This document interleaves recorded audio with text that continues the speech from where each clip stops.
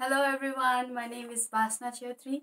I'm a costume designer and I'm also a sewing class instructor at Arkansas Arts and Fashion Forum. Today I'm going to teach you how to make a face mask at home.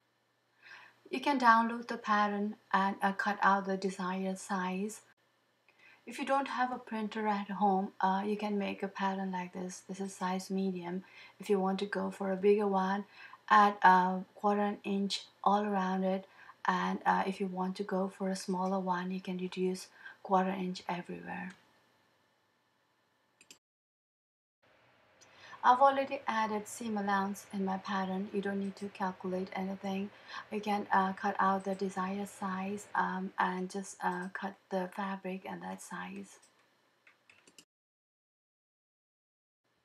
Now you need to sew around the curve the next step is uh, we'll uh, do the clipping or notching um, like in every uh, half an inch. Iron the seam nice and flat like this.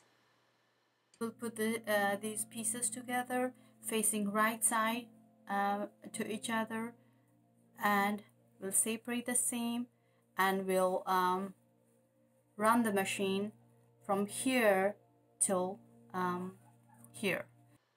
After the machine stitch, uh, it should look something like this and we'll do the clipping or notching again all around the curve.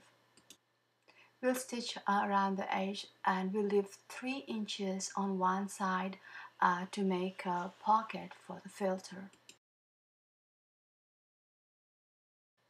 Now flip the mask inside out now you can fold the seam around the pocket and uh, stitch all around it. And um, if you're uh, putting filter you can put a filter now. Now fold quarter inch first and then half an inch and make a tube for the elastic. After making the tube by stitching on both sides now you can put the elastic through the tube. And now your mask is ready